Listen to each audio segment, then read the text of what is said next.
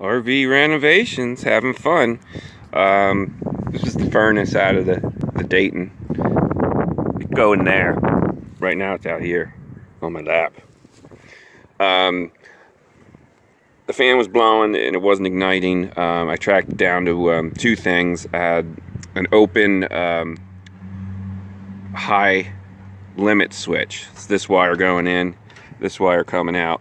Wasn't powering the controller. Um, I jumped that and I still wasn't getting um, any sparky sparky lighty lighty.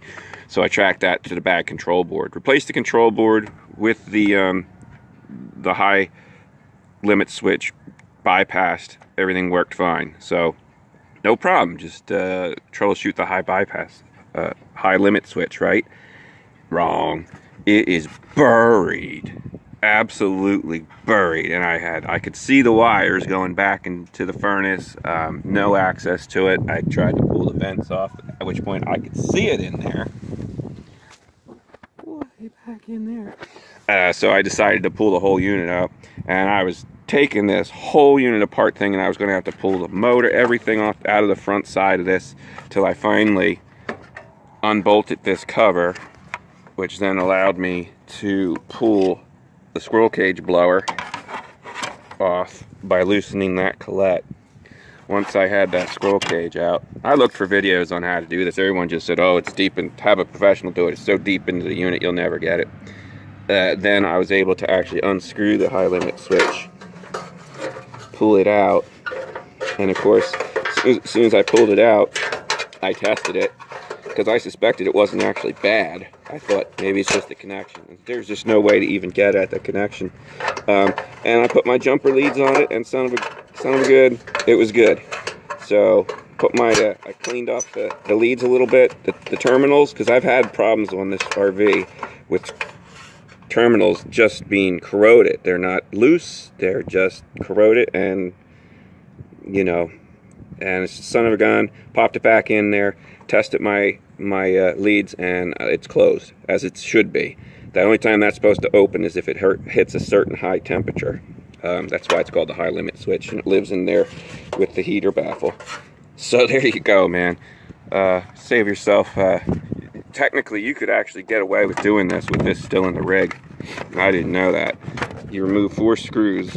One, two, three, four pop this off, get that squirrel cage off of there, and then you can access it. You could technically actually do that. If you dropped a screw in there, you'd be hating life, but uh, whatever. But anyway, I am glad I took the whole thing out. Uh, I'm not done cleaning it. There was um, all kinds of mud wasps jammed up in here. There were mud wasps inside the exhaust tube in there, and there's still uh, stink bugs and uh, all kinds of like grass and stuff. That's not good. I mean, that's hot air coming out of there. So I'll take that down and hit that with a shop vac. So now about gonna put all this stuff together that I, that's my uh, bowl full of screws there. Um, yeah, there you go. High limit switch. Atwood. This is an 8351 Mark III. 8531, sorry. I think they're all pretty much the same. I'm not sure.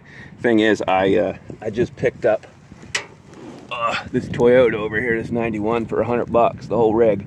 And I'm sitting here tearing this thing apart, and I look underneath and I go, hey, that looks like an Atwood furnace. I probably could have just yanked that one out of there for the 100 bucks I paid for that whole thing.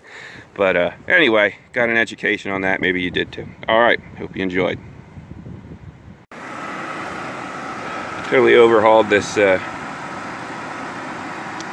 Atwood HydroFlame furnace, new control board. Uh, had the, here she goes. Oh, she fired. Tick, tick, tick, tick, tick, woof. That's the good stuff there. With my dry hands from COVID-19 hand washing. Yikes. Old ass man hands dried up. There we go, she's working. Um, had to replace the control board and the high limit switch was not bad but the connectors they weren't loose they just were tarnished I guess I had to dig all the way into the back of this thing um, pulled the whole thing out of the rig and um, take that high limit switch out, test it, test it good, put the terminals back on.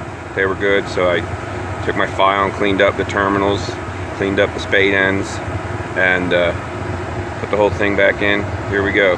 We got a, a working, safe furnace. Um, here you go. I got to button it up on the inside, get all the duct work back on it. Uh, and that's it. I'll get her together uh, tonight yet before dark.